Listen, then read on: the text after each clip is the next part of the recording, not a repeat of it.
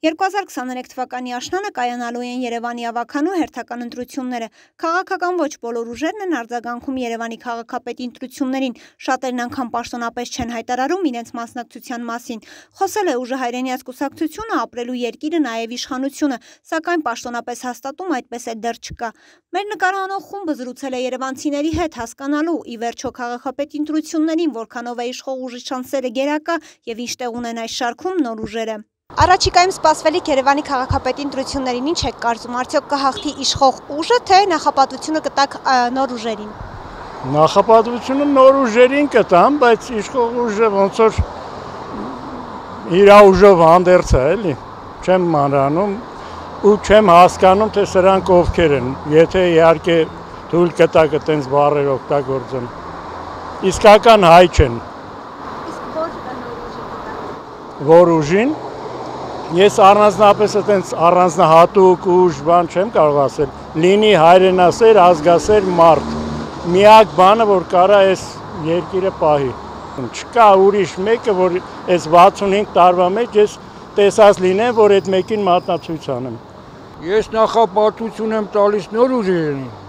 բայց սրանք սաղ վաղտ հաղթում են ու շատ վատ մարդիկ են։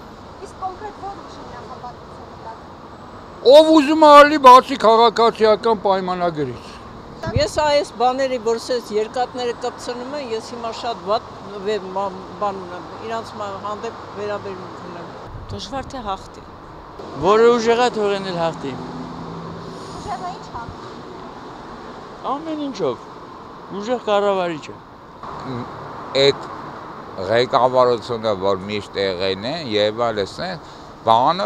այդ մանկական երկաթողին հələ միջև այսօր ասում են մենք պետքա